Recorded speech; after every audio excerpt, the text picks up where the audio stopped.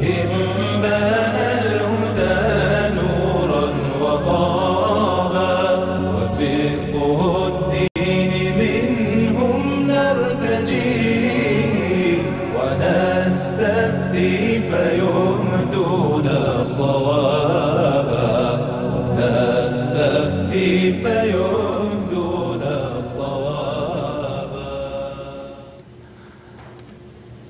الحمد لله رب العالمين وصلاة وسلاما على النبي الأمين وآله وصحبه أجمعين. السلام عليكم ورحمة الله وبركاته. مرحبا بكم أحبتنا الكرام إلى حلقة جديدة من برنامج الإفتاء المباشر يستفتونك على قناة الرسالة الفضائية. أسعد بكم دائما وأسعد بضيفي في الاستوديو فضيلة الشيخ الأستاذ الدكتور علي بن عبد العزيز الشبل باسمكم وباسم فريق العمل نرحب بضيفنا. أهلا وسهلا بكم شيخ. وأنا كذلك أجدد الترحيب بكم وبإخواني وأخواتي أينما بلغ إليه هذا الأثير. سائل الله جل وعلا أن يجعله لقاء طيبا مباركا ينفع الله فيه المتكلم والسامع. آمين إنه سبحانه جواد كريم. اللهم آمين. شيخنا قبل أن نستقبل اتصالات الإخوة والأخوات آه، في كل سنة آه، قبيل آه، العشر الأواخر تكثر المنامات أو تكثر تعبير الرؤى أو ربما بعض ال- الناس ربما يبدأ يت- يتحدث عن تحديد ليلة القدر في هذه السنة وأنها في سنوات ماضية كانت كذا وهذه السنة ستكون في هذه الليلة. الحديث عن آه، اهتمام الناس وكذلك اهتمام بعض المعبرين بذلك. الحمد لله رب العالمين وصلى الله وسلم على نبينا محمد وعلى آله وأصحابه أجمعين اللهم علمنا ما ينفعنا وانفعنا بما علمتنا وزدنا علما وعملا صالحين مقبولين يا عفو يا كريم نعم تتكرر هذه الظاهرة في الاستفتاءات والسؤالات وما يكون من طلب التعبير ومن المعبرين في تحديد ليلة القدر في هذه السنة بناء على رؤيا الرائين أنها ليلة كذا وكذا. وهذا غلط شنيع وخطأ فادح لأن معناه أن يهمل الناس الليالي قبلها والليالي بعدها. والله جل وعلا لما أخفى هذه الليلة أخفاها لحكمة عظيمة. منها أن نشتغل بالجهاد بالاجتهاد والدعاء والضراعة إليه. ولو كان في تعيينها خير لنا لبينها لنا ربنا ولأبانها لنا نبينا صلى الله عليه وسلم. وأما ما جاء في قوله صلى الله عليه وسلم أرى رؤياكم قد تواطأت. فإن الرائين هم الصحابة رضي الله عنهم. والمعبر لرؤياهم هو النبي صلى الله عليه وسلم. لم تهجول بهم الشياطين كما تهجول بكثير من الناس في هذا الزمان. ومع ذلك قال فمن كان منكم متحريها فليتحرها في العشر الأواخر ولم يحدد لها ليلة معينة. ولهذا هذه الليلة الشريفة الصحيح أنها ليلة متنقلة. ليست ليلة ثابتة. وما يكون من تحديدها من بعض المعبرين غلط. لأن معنى ذلك للأسف الشديد أن يكونوا أعوانا للشيطان. في أن يهملوا الليالي قبلها والليالي بعدها وبالتالي تفوتهم شرف هذه الليلة في قيامها والاجتهاد بها في الطاعة. فلنحذر من ذلك ولنحذر منه ولننتبه له يرعاكم الله والله أعلم. هنا شيخنا من الأسئلة التي وصلتنا الحديث عن العشر الأواخر وهل هناك فرق بين ال- الوتر ليالي الوتر وغيرها من الليالي؟ ليالي العشر الأواخر كلها ليال فاضلة. فإن هذه الليالي أشرف ليالي العام وشرفها لأنها تضمنت واشتملت على ليلة القدر التي هي خير التي قيامها والقنوت فيها خير من عبادة ألف شهر. وكان نبينا صلى الله عليه وسلم يجتهد في العشر ما لا يجتهد في غيره. في الصحيحين من حديث أمنا عائشة رضي الله عنها قالت كان النبي صلى الله عليه وسلم إذا دخل العشر أحيا ليله وأيقظ أهله وشد مئزره عليه الصلاة والسلام وشد مئزره.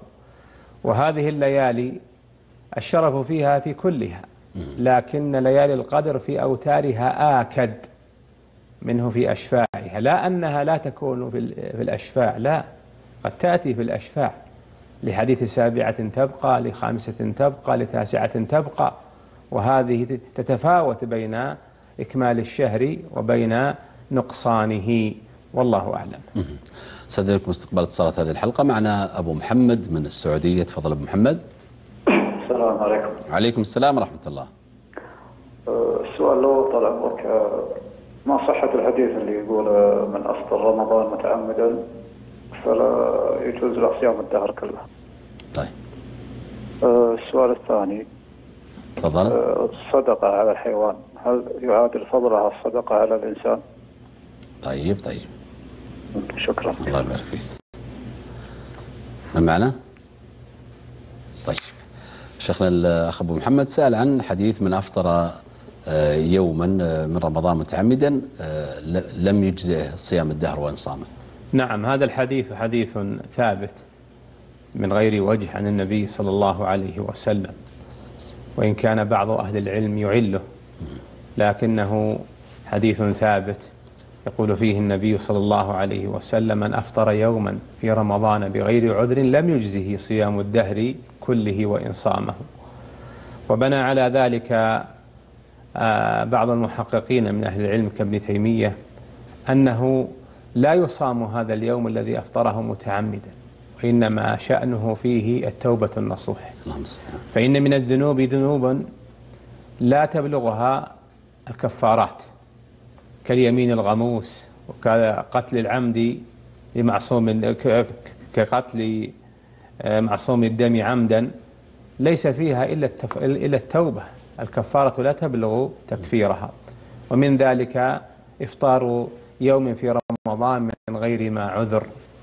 وذهب بعض أهل العلم إلى أن من كمال التوبة وتمامها أن يصوم الأيام التي تعمد فطرها رجاء من الله أن يقبلها والله أعلم. السؤال الثاني يسأل عن الصدقة على الحيوان. هل تعادل الصدقة على الإنسان أو تختلف؟ الصدقة على الحيوان قد تكون أفضل من الصدقة على الإنسان فهي مناطها بحسب الحاجة. قد جاء في الصحيحين أن النبي صلى الله عليه وسلم أخبر أن الله عز وجل شكر لامرأة بغي من بني إسرائيل سقت كلبا كان يلعق الثرى من شدة العطش فشكر الله لها فأدخلها الجنة. وعذب امرأة صوامة قوامة بسبب هرة.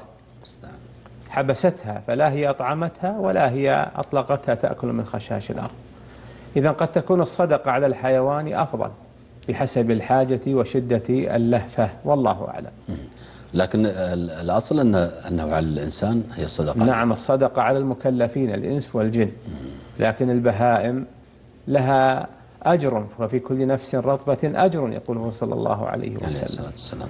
نعم. استاذنكم استقبال بعض الاتصالات معنا أمها من السعودية. تفضلي. السلام عليكم. وعليكم السلام ورحمة الله. عندي سؤالين سمحت الأول. الأول آه، سأل عن ال- إثارة السجود اللي هي الجبهة سبق سألتي عنها يا أمها. لا ما سألت عنه ما ما سمعت ما سمعت جواب أنا طيب. السؤال الثاني و- و- عندي خمسة عشر ألف. ما عندي وادي مس- مسلسل وادي باخذها وادي مني. و- واخذها منها. يشوف كم الزكاة أطلع الزكاة فيها ولا أطلع الزكاة فيها. عنده- عنده هو باقي عنده بس يطلبها هي يقول جيبها. أيوة واذا اعطاني أطلع زكاتها ولا كيف؟ يعني أنت معطيتها واحد متى ما بغيتيها بيعطيك إياها صح؟ هي مسلفت أخذها ولدي ولدك ها؟ وأنا أقول أعطي إذا جابها عيني يعني أربع سنوات خمس سنوات معه ما زكيت هذا وايش أها إذا أخذت يعني كيف حكم ط- ذلك؟ طيب هو هو يقدر يقدر يعطيك إياها الحين ولا ما يقدر؟ من أربع سنوات إن شاء الله بديني فلوس اعطي شيء إياها أي ما ما عنده ما عنده سدادها يعني ها؟ أي ما عنده سجاد. هو طيب، طيب. عنده بس إني باخذها منه. طيب آثار السجود اللي على الجبهة تسألين عن ماذا؟ أيوه. وش تسألين عنه؟ وش فيها؟ يعني آه، وش حكمه؟ يعني حكمه إيش يقول؟ ما ما يجي المؤمنين يجي ما ما أدري والله. طيب طيب طيب. أبغى فتوى فيها يعني طيب طيب. تسمعين الاجابه إن شاء الله. نعم. شكرا. أمة الله من مصر تفضلي. عليكم السلام. وعليكم السلام ورحمة الله. في الجامع بس بنصلي مع الإمام طيب. وبطيل السجود بطيل السجود في في ال- في الفريضة طيب بيجوز إن الواحد يدعو في السجود في ال- في الفريضة يجوز يدعو في أي وضع في الفريضة يعني ما- بيجوز إن الواحد في أي وضع فيها يدعوه ولا ما يجوز ده السؤال الأول آه. طيب ألو السؤال الثاني ال ال 360 آه، تسبيحة بتاعت ال بتاعت الأعضاء بتاعت الجسم المفاصل. يجوز إنه الواحد يقولها في أي وقت في أي لحظة ولا عندها وقت معين يتقال فيها. السؤال الثاني.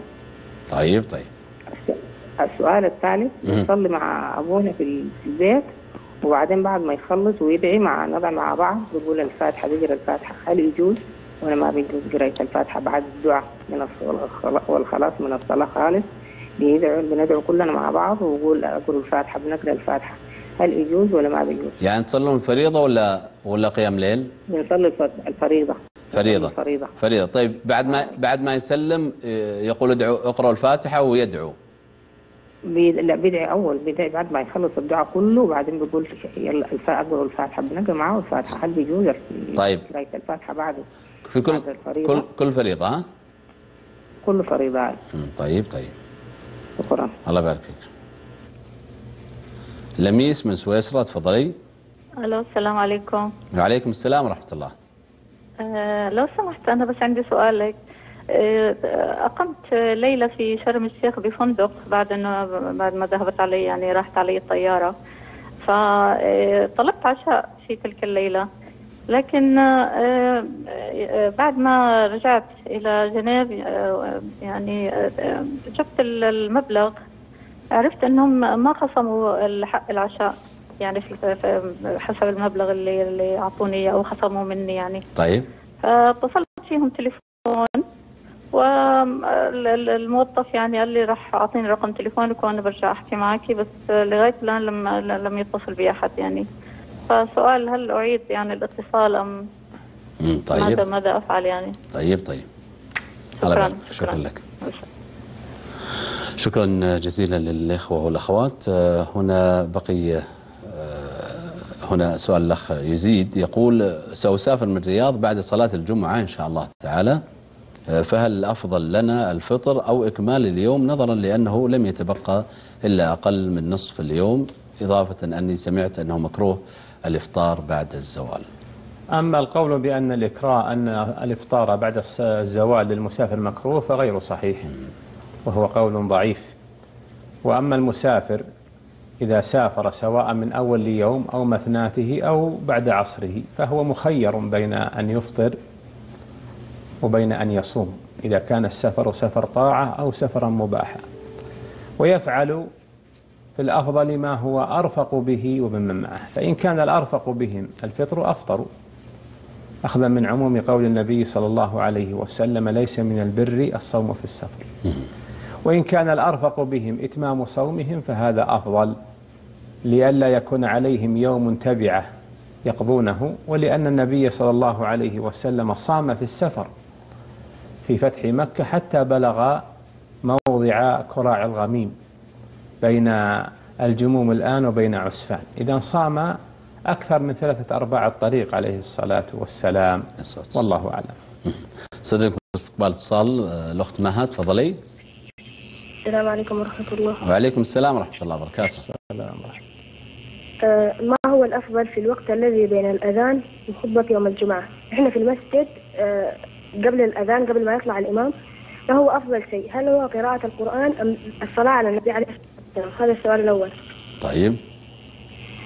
السؤال الثاني هل قراءة القرآن بلا تجويد مع العلم أن الذي يقرأه متقن لأحكامه أو جيد فيها؟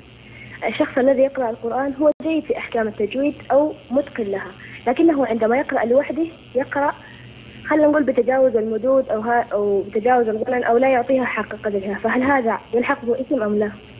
طيب طيب.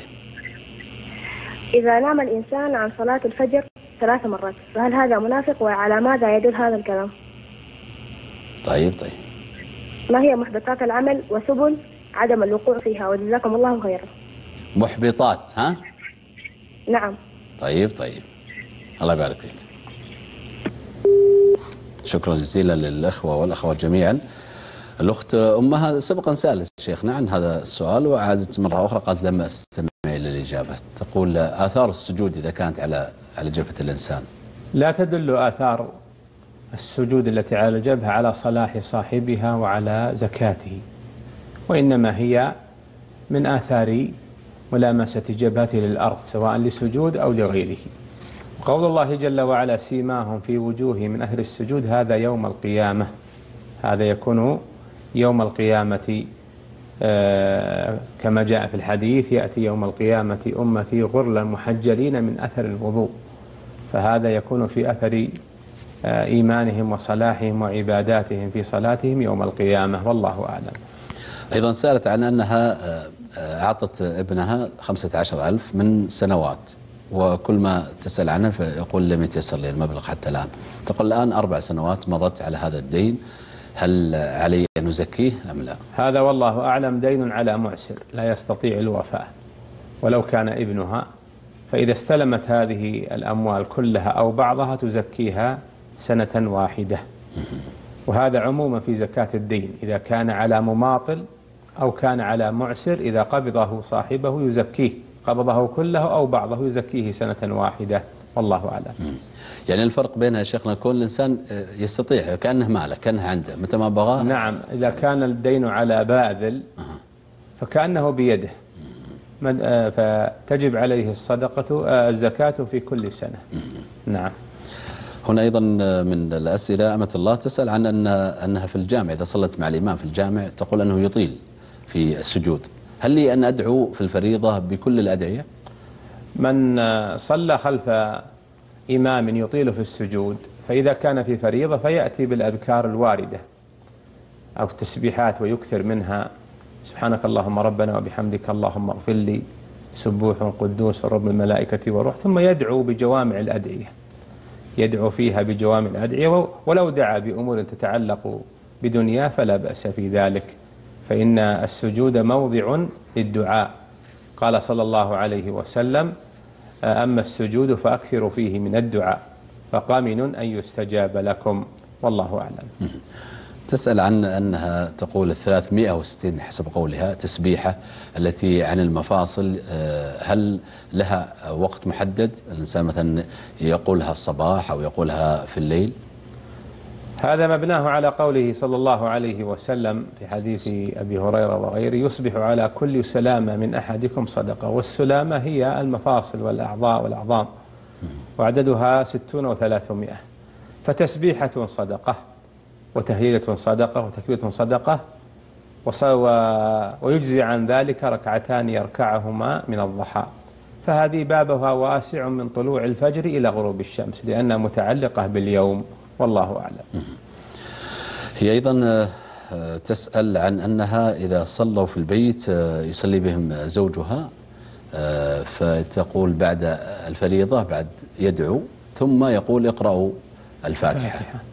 نعم بعد السلام سلام الإمام من الفريضة فإنه يأتي بالأذكار الواردة ذكرا منفردا لا ذكرا جماعيا. ولا يصلح أن يرفعوا أيديهم جميعا ويدعوا بدعاء واحد ويؤمن بعضهم على بعض ثم تختم بذلك بقراءة الفاتحة. كل هذه من المحدثات. وإنما لا ترفع اليدين بعد الصلاة بالدعاء ويأتي, ويأتي المسلم بالذكر الوارد. والدعاء أفضل ما يكون قبل السلام في بعد التشهد وقبل السلام. ثم إني أسأله لماذا يصلي الفريضة في بيته؟ ويؤم بأهله. يذهب يصلي مع المسلمين في المساجد لأنه مخاطب بذلك مأمور به. من سمع النداء فلم يجب فلا صلاة له إلا من عذر. كذا قاله النبي صلى الله عليه وسلم والله أعلم. الأخت لميس من سويسرا سألت أنها قامت في فندق وكان من ضمن الإقامة أنها بدون وجبات حسب ما فهمت هي. فتقول أنهم أعطوني وجبة في تلك الليلة قبل أن أسافر. ثم اكتشفت أني لم أدفع قيمة هذه الوجبة تواصلت معهم فقالوا سوف نتصل عليك ونخبرك بهذا الأمر. هل لي أن أتواصل معهم حتى أعرف منهم أو يكفي أني أبلغتهم بذلك؟ ما دام أنها أعلمتهم ووعدوها أن يتصلوا بها فإن لم يتصلوا تتصدق بقيمة هذه الوجبة على الفقراء في أي مكان. وتبرأ بذلك ذمتها بإذن الله. والله أعلم. تقيمها لأن ربما ما تعرف القيمة. نعم تقيمها أو تعرف بقيمة الفنادق المشابهة لها. نعم. آه، الأخت مها سألت عن الأفضل بين الأذان والإقامة. هي آه، بعض النساء يحضرن صلاة الجمعة فتقول حتى يدخل الخطيب هل آه، نشتغل بالقرآن بقراءة القرآن أم نشتغل بالصلاة على النبي صلى الله عليه وسلم؟ كل ذلك مشروع وله أجر عظيم. اشتغلوا بالقرآن. اشتغلوا بالصلاة على النبي اشتغلوا بالدعاء والتسبيح والتهليل كلها أمور سائغة ومشروعة ويندب إليها. بل هذا وقت الدعاء من دخول الخطيب إلى انقضاء الصلاة من آكد أوقات أن تكون هذه الساعة هي ساعة الجمعة. فإن ساعة الجمعة ذكر فيها الفقهاء رحمهم الله نيفا وأربعين قولا. أرجحها قولان الأول من دخول الخطيب إلى انقضاء الصلاة. وهي الساعة التي لا يوافيها عبد مسلم يسأل الله شيئا إلا أعطاه الله إياه. والقول الثاني أنها آخر ساعة من يوم الجمعة فأفضل ما فيه الدعاء والابتهال والضراعة إلى الله سبحانه وتعالى والله أعلم.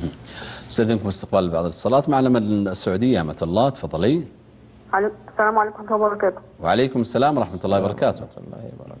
لو سمحت إيه هي مواصفات ليلة القدر اليوم اللي قبلها الليلة علامات؟ أيوه. طيب.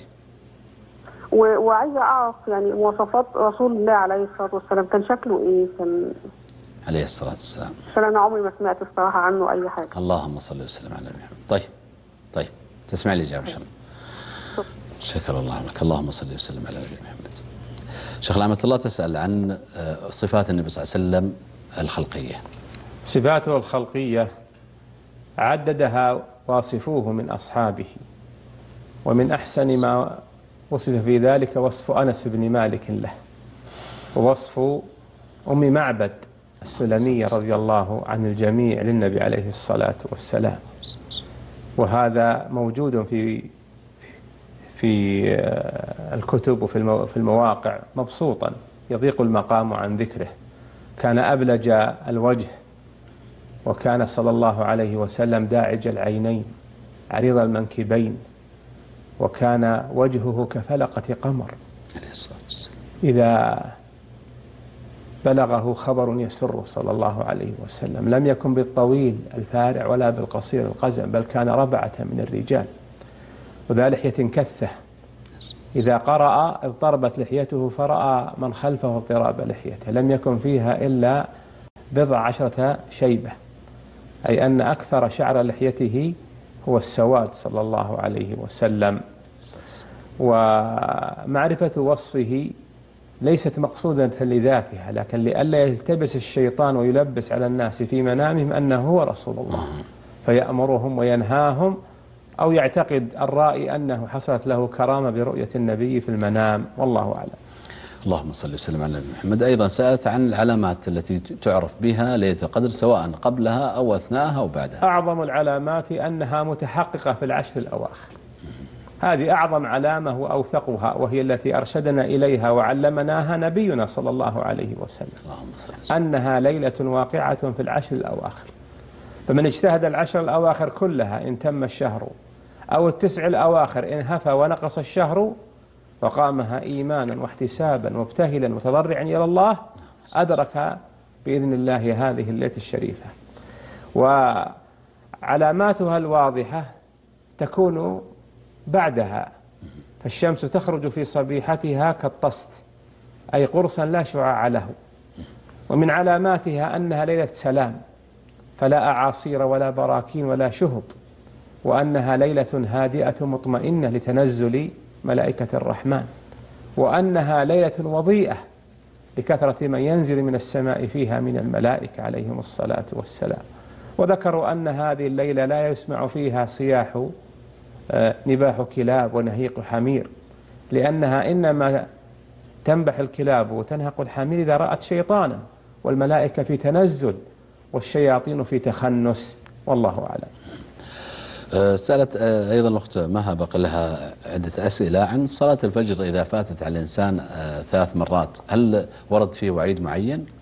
لا أعلم وعيدا في من فاته صلاة الفجر ثلاث مرات. إنما الذي جاء ذلك في صلاة الجمعة. من ترك ثلاث جمع تهاونا طبع الله على قلبه. وأما صلاة الفجر فلو, صلى فلو تركها مرة واحدة يخشى عليه الهلكة وقد أفتى جمع من أهل العلم أن من تعمد ترك صلاة الفجر حتى تطلع الشمس تطلع الشمس ولم يصلها إلا بعدها أنه ليس بمسلم أنه خرج بهذا الفعل عن اسم الإسلام. وهذا خطر جسيم ينتبه له المسلم ويحذر منه ولا يرتبها بالثلاث بل مرة واحدة قد تكون هي الباقعة المحبطة لعمله. نعوذ بالله من غضبه. نعم.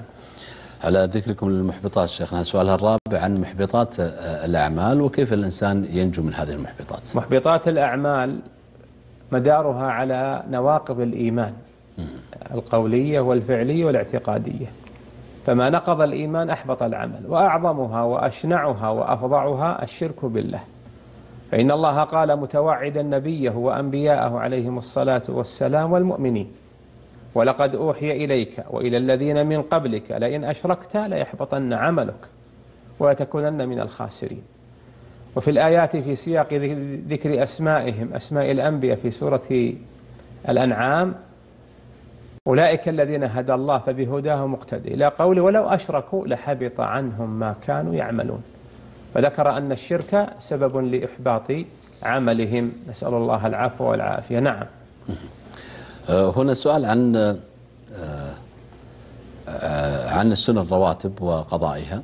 هل هو القضاء كما جاء عن النبي صلى الله عليه وسلم لصلاة سنة الظهر فقط؟ بالنسبة للسنن الرواتب هما كما جاء في الأحاديث عشر ركعات أو ثنتا عشرة ركعة. والإتيان بثنتا عشرة ركعة أولى لأنه أكثر من السجود. وصارت راتبة له في يومه وليلته فتكون ركعاته في اليوم والليلة مع الفرائض أربعون ركعة خمسة عشر ركعة في آه، السنن الرواتب وصلاة والشفع والوتر والباقي في الفرائض. ولا آه، يقضى من السنن الرواتب إلا ركعتا الفجر. أما الظهر القبلية والبعدية فلا تقضى في أصح الأقوال. فإن عمر رضي الله عنه نهى عن ذلك وفي حديث أم سلمة أن قضاء هذه السنن بعد العصر الرواتب رواتب الظهر البعدية بعد العصر أنه خاص بنبينا صلى الله عليه وسلم والله أعلم. معنا أبو هناء من السعودية. تفضل أبو هناء. السلام عليكم. وعليكم السلام ورحمة الله. مساك الله بالخير أستاذ مساء النور. حياك الله. ونحبكم في الله وفضيلة الدكتور الشيخ علي. الله يحفظه لنا جميعا. الله خير بارك فيك. آه، عندي سؤال واحد فقط الله يعطيك العافية. تفضل. آه، أوصاني أحد الزملاء أشتري له سلعة آه، من مدينة أخرى. قيمتها فلنفترض أنها 200 ريال فقط. تمام؟ طيب. وهو يعرف أن قيمتها السوقية ب 200 ريال. ذهبت أنا إلى الموقع فقالوا لي أن لك خصم خاص أنا على بطاقتي لأن لي اشتراك عندهم في الاتصالات وكذا فيصبح السعر 160 ريال تقريبا بسبب الخصم اللي لي أنا ببطاقتي أنا وليس بطاقته هو آه الآن لما يريد أن يعني يدفع لي الثمن هل يدفع ال 160 ولا ال 200 اللي هي أصل قيمة البضاعة اللي هو أوصاني عليها ويعلم قيمتها السوقية لو ذهب هو بنفسه طيب. سيجدها 200 طيب. ريال طيب ممتاز واضح, واضح السؤال طال عمرك؟ واضح الله يسعدك واضح. شكرا لك. شكرا لك. شكرا للأخوة الكرام. آه، هنا يا شيخنا بقي من أسئلة الأخت مها آه، تقول شخص متقن للتجويد ولكنه ربما لو قرأ لوحده ربما البعض خصوصا في رمضان يريد أن يكثر من الختمات فيتخفف قليلا من التجويد. هل يأثم؟ لا يأثم لأن التجويد في مجموعه من المستحبات وإنما الواجب منه ما غير المعنى. وما قصر عن إخراجه مخارجه الصحيحة في نطق الكلمات. فإن كان يقرأ من حفظه أو يقرأ بسرعة فلا يلزم بكل أحكام التجويد من جهة الغنن والمدود وأحكام النون والميم الساكنتين. والله أعلم.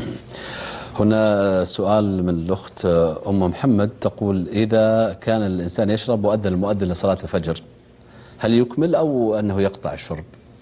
إذا أذن المؤذن والإناء والقدح في يد أحدنا فليتم شربه وليأخذ منه نهمة كما جاء في الحديث عن النبي صلى الله عليه وسلم. اللهم فليقضي منه نهمته. لكن الممنوع أن يتناول الكأس بعد الأذان ويشرب أو في آخر الأذان ويشرب.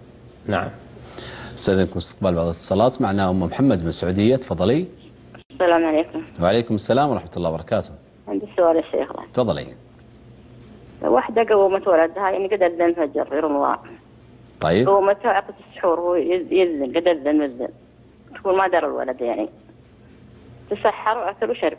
على هالشيء شيخ الله يجزاه خير عليها ولا عليه هو؟ ولا على ما يدري. هي- هي قوم قومت من النوم ويمكن ما يدري. وهي ما تدري. لا هي داري داري داري. طيب متى متى؟ بعد ما أذن؟ إي بعد؟ ما أذن بعد ما أذن. كم دقيقة؟ والله ما أدري تقريبا دقيقتين ثلاث دقائق كذا. بعد ما انتهى الم- المؤذنين اي تقول. تقول أنا سمعت تقول اذن قد اذن أصلا. طيب. تقول اعطيته سحور سحر يعني. طيب طيب طيب. تسمع الإجابة إن شاء الله مع السلامة. الله يبارك فيك. معنا؟ طيب. شكرا. آه، الأخ أبو هناء آه، سأل عن أنه يقول أوصاني أحد أصدقائي بأن أشتري له سلعة ويعرف قيمتها. يقول أنا عندما ذهبت أشتري السلعة هذه أصبح هناك خصم لي بحكم أني مشترك مع جهة الاتصال أو لي فوائد أو لي نقاط أو غير ذلك. آه، ف يعني خصم المبلغ وأصبحت ما دفعت إلا 160 هل أرجع بال 200 كاملة أو أني آه، آخذ من 160 فقط؟ أحبك الله يا أخي الذي أحببتنا فيه وجعلنا وإياكم وإخواننا من المتحابين في جلاله المظلين في ظل عرشه. اللهم آمين. الذين هم على على منابر من نور عن يمينه سبحانه وكلتا يديه يمين. ما ذكره في سؤاله هو قائم مقام الوكيل والذي أرى له أنه يستأذن صاحب صاحبه الذي وكله. فإن أعطاه المبلغ كامل فنعم وإلا اكتفى بما دفعه وهي المئة والستين ولو كانت متعلقة ببطاقته. والله أعلم. هنا أيضا شيخنا من الأسئلة الأخ سراج يقول هل يجوز للإنسان تخصيص يومي الاثنين والخميس ببعض الأعمال كالصدقة والعمرة وغيرهما لأن الأعمال ترفع في هذين اليومين؟ آه، النبي صلى الله عليه وسلم لم يشرع لنا في يومي الاثنين والخميس إلا الصوم. وقال إنهما يومان تعرض فيهما الأعمال إلى الله أو ترفع فيهما الأعمال إلى الله ويحب أن يعرض عملي وأنا صائم. ولم يذكر صدقة أو صلاة أو غيرها من الطاعات والقربات. فلا نزيد عما جاءت به سنة نبينا صلى الله عليه وسلم لئلا نقع في البدع والمحدثات. والله أعلم. اللهم صل نستاذنكم استقبال بعض الاتصالات معنا الأخ علي. تفضل. السلام عليكم. وعليكم السلام ورحمة الله وبركاته. عندي ثلاث أسئلة. الأول؟ آه كنت كنت أنصح أخي إنه يشتغل والكلام ذا كان مقصد الدنيوي. وقلت له الشغل عند الرجل من الفطرة. واستهزأ بكلمة الفطرة وأنا ضحكت. و... وهذه الكلمة إنه معناها الأشياء الطبيعية اللي المفروض يسويها الإنسان. ما كان يعني قصدي كيف الدين. طيب السؤال الثاني؟ آه ونيتي ما هي استهزاء فهل هذا يكون استهزاء؟ طيب السؤال الثاني السؤال الثاني اللي يلعب العاب فيها آلهة حق كفار أو أو فيها عيد يعتقدون فيه ال- الكفار أنه عيسى ابن الله. هل يكفر من يلعب ذي الالعاب؟ الالعاب فيها هذه المشاهد يعني؟ الالعاب فيها هذه الأشياء. طيب. بس اللي هو يعني اللي بيلعبها ما ما هو مؤمن فيها. طيب السؤال الثالث قلبه. طيب. فهل يكفر فيها؟ السؤال الثالث آه من اللي يسوي نفسه إنه في إنه في عبادة هو ما هو في عبادة بس عشان الناس ما تنصحه. كيف يعني؟ هل يكفر بذا الشيء؟ كيف؟ يعني يسوي مثلا نفسه انه يسوي نفسه انه إنه في عبادة بس هو أصلا ما قاعد يسوي عبادة. مثل يعني مثل مثل إيش؟ يعني كأنه مثلا يسوي نفسه يصلي بس آه ما ما قاعد يصلي. يعني كذا يركع ويسجد عشان بس ما حد ينصحه ولا كيف؟ طيب. لا ما ما يركع ويسجد بس إنه يسوي نفسه إنه يصلي. طيب طيب. أخوي علي أظن عندك بعض الوساوس في الجانب العقدي صح؟ تسمع إن شاء الله توجه, توجه. الشيخ؟ إن كانت ثلاثة صارت أربعة. تفضل. لا لا لا هو آخر آخر سؤال أنت فهمته؟ طيب. اي فهمت فهمت. تسمع الإجابة إن شاء الله أبشر. شكرا جزيلا. بقي سؤال الأخت أم محمد. بعض الأمهات لديهم رحمة لكنها جانب ربما يكون فيه إشكال. وهو إيه أنها توقظة للسحور بعد ما أذن. المؤذن هو ما عنده خبر أنها أذن أو لا فأيقظته بعد الأذان ثم قدمت له السحور ليتسحر. نعم هي آثمة بفعلها. وعليها هي القضاء لأنها علمت أنه أكل وبعد طلوع الشمس بعد طلوع الفجر. وهو إذا كان لا يعلم بطلوع الفجر وأكل أو شرب ظانا بقاء الليل صح صومه. فالإثم عليها والقضاء عليها هي والله أعلم. لكن ما شاركت معه في السحور حتى لما شاركت هي علمت أنه يأكل ويشربه بعد بعد أذان الفجر. نعم. طيب آه، هنا سؤال الأخ- علي. طبعا من أسئلة الأخ علي أن عنده جانب الوسواس. يقول آه، أنصح أخي أن يعمل فكنت من ضمن كلامي أن قلت أنها العمل من الفطرة. فضحك على ذلك وابتسمت أنا فلم أكن أقصد شيء في الاستهزاء بالدين. هل ندخل في هذا ال- الأمر؟ يبدو من أسئلة التي سمعنا أن عنده وسواس متحقق في أمور الاعتقاد والكفر والإيمان وما يدخل به في الكفر ويخرج به من الإيمان. والذي أنصحه به ثلاثة أمور. الأمر الأول أن يستعيذ بالله من الشيطان ووسواسه. ثانيا أن يترك هذه الوساوس لا يتطاول معها لا يسترسل معها بل يردها ويصدها. الأمر الثالث وهو المهم أن يسأل ربه أن يعافيه من هذه الحالة لأن الحالة هذه إذا استمر معها انتقلت إلى أمور أخرى وهي والله أعلم جاءته من وساوس سابقة في وضوء في خارج من السبيلين وفي الصلاة وفي علاقاته بالناس. وجوابا على سؤاله الأول قول إن العمل عند فلان أو العمل هذا من الفطرة لا يعد هذا كفرا ولا يعد هذا استهزاء. وليستغفر ربه وليتوب إليه من ظنه أن هذا كفر والله أعلم. نستأذنكم استقبال الاتصالات الأخوة والأخوات. معنا الأخ ماجد تفضل. السلام عليكم. وعليكم السلام. أه بس يا شيخ آه، سؤالين. تفضل. أه السؤال الأول أنا كنت قبل أكثر حلف كثير يعني وكنت آه، يعني حلف يعني كذب يعني. أه بس ما أدري يعني كم عشان أكفر عن الحلف طيب. هذا السؤال الأول. السؤال الثاني أنا أعمل في جهة حكومية بس أحضر يوميا ولا في يعني أي عمل يعني عمل بس أحضر وأطلع يعني بدون أي عمل. هل يعني يعتبر راتب إذا راتب حرام ولا؟ طيب. بدون عمل يعني من الإدارة نفسها ما يعطونك عمل ولا ولا أي أنت ما ما, ت- عمل كثير مرة. أي يعني ما يعطوني أبد قليل يعني. وأنت وأنت تحضر من بداية الدوام إلى نهايته صحيح. طيب طيب تسمع الإجابة شن كلام الله يبارك فيك. أم عزيز من السعودية تفضلي. تفضلي. لو سمحت أنا عندي مبلغ من المال وفي- وقد أعطيت واحد سلفته إياه. و- هل أزكي عنه ولا لا؟ مضى مضى عليه كم سنة أو أكثر؟ إي مضى هو عنده. كم سنة أو أكثر؟ سنة مضى عنده وتو يردوا لي طيب طيب هو معسر؟ إي بأسر شوي. أي. طيب يوم توفر معه جابلت صح؟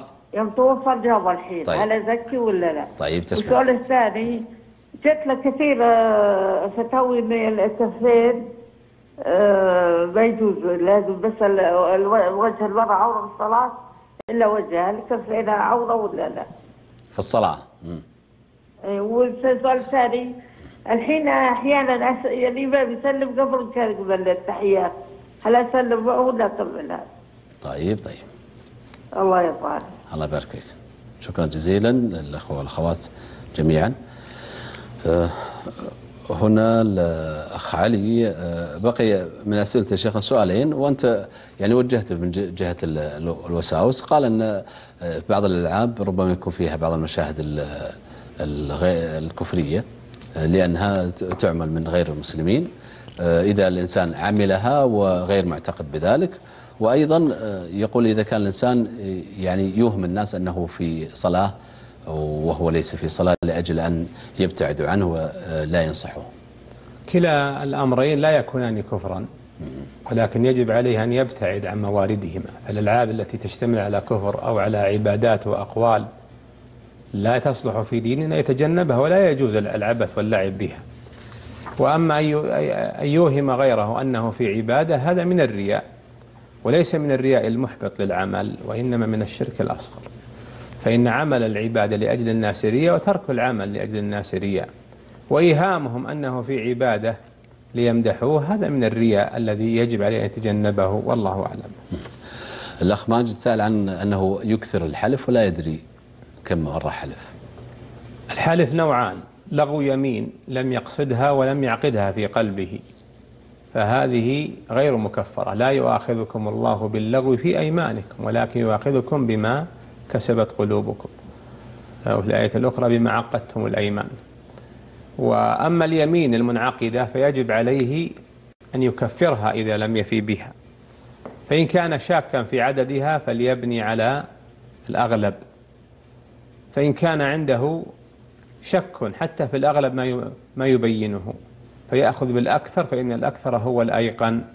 ويتقي الله جل وعلا ويحفظ يمينه ويكفر عن أيمانه والله أعلم. سأل أنه يعمل في جهة حكومية ويقول أني أحضر من بداية الدوام إلى نهايته لكن ليس لدينا عمل أو عمل يسير جدا. فهل آثم في ذلك؟ يعني يعتبر ما يأتيني من راتب لا توسوس يا أخي. فإن الراتب مأخوذ على أمرين على العمل وعلى انتظاره. فإنك مستأجر عند الجهة التي تعمل عندها على وقتك وعلى خبرتك في إنجاز هذا العمل الذي يسند ويوكل إليك. فإن لم يكن هناك عمل فراتبك الحمد لله لا بأس به والله أعلم. أم عزيز تقول أنها يعني أدانت شخصا مبلغا فلما توفر لديه أعاد المبلغ بعد مرور سنة. فتقول هل عليه زكاة؟ نعم عليه زكاة سنة واحدة. تزكيه سنة واحدة بقبضه من هذا المدين الذي أدانته هذا المبلغ. والله أعلم. حسبة الزكاة شيخنا بشكل مبسط. نعم الزكاة زكاة عرض التجارة زكاة الأموال زكاة وما جرى مجراها هي ربع العشر. وربع العشر تقسيم المبلغ المتجمع المبلغ الزكوي على أربعين. بالآلة الحاسبة إذا قسمت المبلغ على أربعين الناتج هو الزكاة وهو الذي يعادل ربع العشر. والله أعلم. تسأل شيخنا عن في المرأة في صلاتها. هل تكشف عن كفيها أو فقط تكشف عن وجهها؟ الصحيح أنما تكشف عن وجهها فقط. لا عن كفيها ولا عن رجليها ولا عن شعرها. بشرط ألا يكون عندها رجال أجانب. فإن كان يمر بها وهي تصلي الرجال الأجانب فإنها مأمورة أيضا أن تغطي وجهها لا لأنها في صلاة لكن لعموم ذلك في نساء المؤمنين. يا أيها النبي قل لأزواجك وبناتك ونساء المؤمنين يدنين عليهن من جلابيبهن. ذلك أدنى أن يعرفن فلا يؤذين وكان الله غفورا رحيما. والله أعلم. نعم. سألت أيضا عن أنها إذا سلم الإمام وهي لم تنتهي من التحيات والصلاة الإبراهيمية. إذا سلم الإمام مستعجلا وأنت لم تأتي ببقية فرضك في قراءة التشهد فبسلامه انقطعت متابعتك إياه. وإنما أكمل صلاتك وتشهدك ثم سلم. لكن إذا سلم الإمام وهو معتاد وعندك وسواس وتلكؤ في قراءة التشهد مجرد ما يسلم الإمام سلمي معه ولا تسترسلي مع هذه الوساوس والتلكؤات والترددات التي تكون عند بعض الناس في صلاتهم من ناحية الوسوسة. والله أعلم. أشكركم شيخ علي في ختم هذه الحلقة. خلاص. أي نعم. والله تعالى أعلم. وصلى الله وسلم على سيدنا محمد. وعلى آله وأصحابه صلاة وسلاما أبدين دائمين إلى يوم الدين. والحمد لله الذي بنعمته تتم الصالحات. اللهم صل وسلم وبارك على نبينا محمد. وصلنا بكم إلى ختم حلقتنا. حتى الملتقى بكم. في موعد البرنامج المعتاد في شهر رمضان المبارك الساعة الرابعة عصرا بتوقيت مكة المكرمة. أستودعكم الله. والسلام عليكم ورحمة الله وبركاته. السلام ورحمة الله سل العلماء من ورثوا الكتاب.